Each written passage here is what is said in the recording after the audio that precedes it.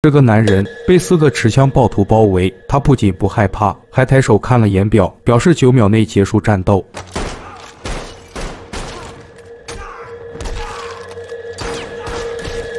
男人一波逆天操作，干掉了暴徒，并且给逃跑的领头补了两枪。他就是退休特工兼私人侦探罗伯特。罗伯特拿走对方的钥匙，准备离开。临走，看见车里还有个孩子，他好心放了对方一马，却被孩子开枪偷袭。罗伯特负伤，不得不开车离开酒庄，却因为失血过多晕在半路。多亏被一热心警察吉奥救下，后者把他送到了最近的诊所。医生及时帮罗伯特取出子弹，后者才捡回一条命。事后，医生没问罗伯特中弹的原因，只问了一个问题：你是好人还是坏人？罗伯特却无法给出答案，只能说我也不知道。经过一段时间的休养，他总算恢复健康。多亏医生跟吉奥的帮助，罗伯特久违享受到平静的日常。不过他也没忘了正事。晚上，罗伯特以匿名的方式向中情局提供了一个坐标，并解释该地的酒庄内全是从中东走私的货物。接线员还想问他叫什么名字，罗伯特却挂断了电话。他身上背负了太多杀孽，只有替压迫者伸张正义时，内心才能找到一种奇怪的慰藉。第二天，罗伯特继续在街上闲逛。那不勒斯的景色十分动人，镇上上的居民也很友善，不过总有些臭鱼烂虾搞破坏。这天下午，罗伯特经过鱼店，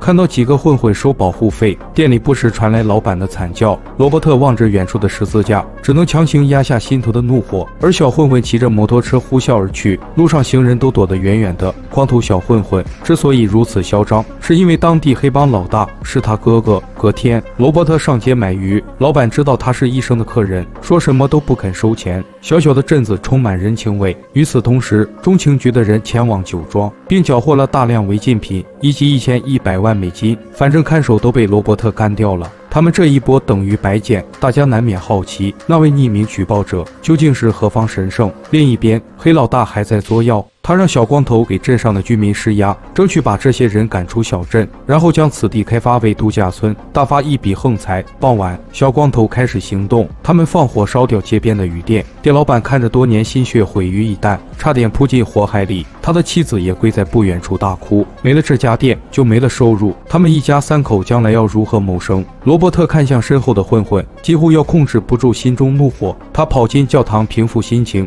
天亮后，和街坊邻居一起帮鱼店老板收拾破败的店面。杰奥则全力调查纵火案，想找到混混放火的证据，为鱼店老板讨回公道。日子一天天过去，鱼店老板在大家的帮助下重新开业。罗伯特逐渐适应意大利的节奏，还跟咖啡馆的女老板相识。他越来越喜欢这里的生活，当地居民也接纳了这位美国邻居。而中情局的女探员艾玛循着酒庄指纹找到了罗伯特的位置。艾玛想继续查那一批毒枭，搞清楚他们的供货商。罗伯特给了一点提示，他让艾玛想一想，为什么是西西里港口，而不是厄尔巴岛或萨丁岛？哪有人运毒从最安全的路线走？艾玛推测内陆派占领了那不勒斯。与此同时，吉奥去接放学的女儿，却得知她被人带走了。吉奥急忙跑回家确认，不料几个混混坐在客厅里，还抓住了他的妻子跟女儿。混混暴揍吉奥一顿，警告他不要再查纵火案，否则就对妻女下手。吉奥去找医生处理伤口。罗伯特看到他的惨状，赶紧问医生发生了什么。后者表示，此地有一帮黑手党，简直就像毒瘤一样，只要不去除，这个镇子就无法宁静。果不其然，小光头又开始搞事。这晚他闯进餐厅，坐到吉奥一家旁边，让对方找索马里人借艘船。这莫名其妙的要求，摆明了就是要为难吉奥。而罗伯特就坐在角落，死死盯着小光头。他挑衅的的眼神引起后者不快。小光头走到罗伯特桌前，问他有什么意见。罗伯特表示：“我真的忍了你很久，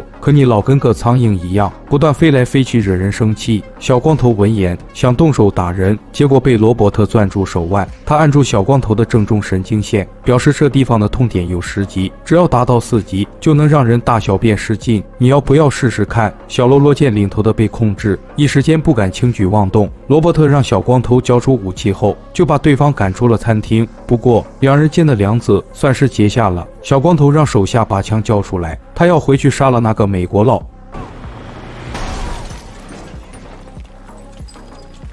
小光头过去查看情况，发现车里的马仔已经死了。紧接着，罗伯特拿着酒瓶登场，他照着马仔脑袋就是一瓶子。小光头赶紧掏出刀子防身。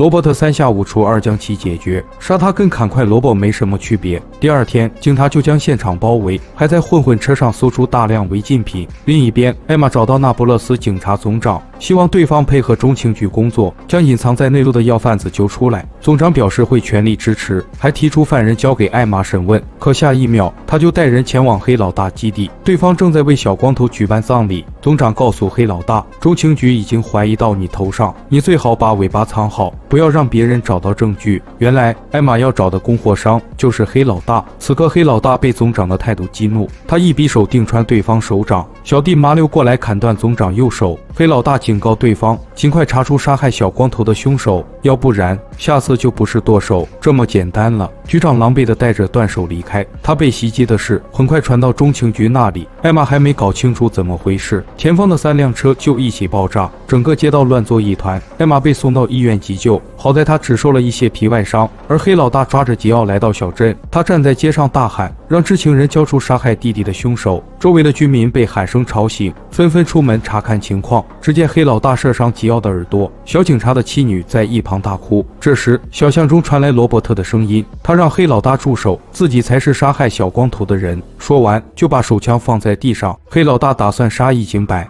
当着所有人的面击毙罗伯特，谁知还没等他开枪，身后就传来一声枪响，竟然是医生跑出来要救罗伯特。鱼店老板见状也出来阻止，居民纷纷拿出手机录制视频，他们在用自己的方式保护罗伯特。黑老大虽然在此地为所欲为，但是不能把事情闹太大。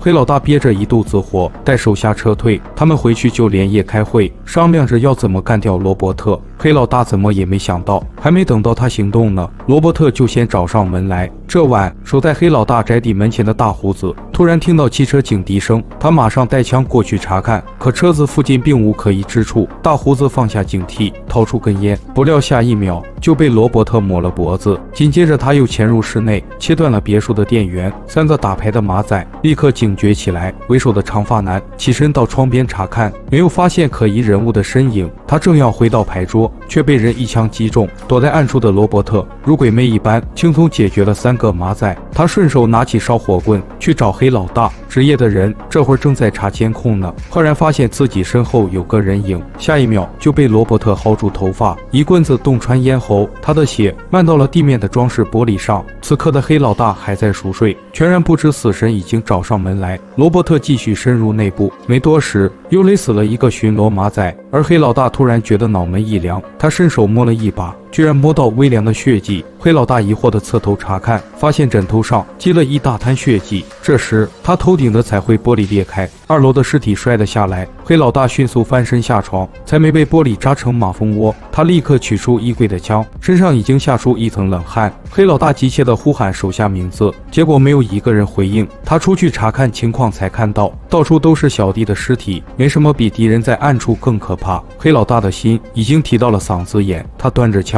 一通乱七八糟的扫射，完全乱了阵脚。而罗伯特趁机钻出来，将其击晕。等黑老大再次清醒，就发现自己被绑在了柱子上，铁丝紧紧勒着他的脖子，每一次吞咽都传来剧痛。罗伯特过来解开束缚，黑老大连滚带爬的逃跑。不过不久前，罗伯特给他喂了药，黑老大这会儿没什么攻击力，而且全身发软，跑也跑不远。他刚走出大门，就被过路车辆撞倒。罗伯特跟在后面冷眼旁观，黑老大拼死往前爬了一段路。就彻底失去呼吸，横尸街头。而另一边，小镇人民正在教会巡礼，两处风景截然不同。第二天，黑老大的死登上新闻。罗伯特去探望受伤的艾玛，或者看到新闻，猜到这是出自罗伯特的手笔，但他还是想不明白罗伯特是怎么追查到了地下酒庄的交易。其实方法非常简单，罗伯特最开始只想帮一个叫格雷的瓦匠追回养老金。九个月前，对方的账户遭到了黑客袭击，罗伯特顺着网络一路追寻。没想到找到了走私称重站，故而发生了之后的事情。罗伯特把装有养老金的包放在病房，嘱托艾玛以中情局的名义将其转交给格雷。艾玛病好后，找到了瓦江一家，夫妻俩看见攒了一辈子的钱，忍不住落下热泪。他们差点要卖掉房子，露宿街头，从没想过一个陌生人居然会帮忙追回这些钱。而此刻，我们的活雷锋还在意大利，他爱上了这里的生活，找回了追求已久的平静。影片到此结束，但泽尔华盛顿已经快七十高龄，所以打斗戏份激烈程度下降，故事仍然延续前作，帮备受压迫的人伸张正义。主角菩萨心肠，魔鬼手段。这一次他不再离群所居，而是融入到那不勒斯的烟火气中。虽然是杀手，却有禅意。整个电影反其道而行之，尽管是动作片，但节奏缓慢，颇有几分老派西部片的感觉，也算是为深渊人系列完美收尾。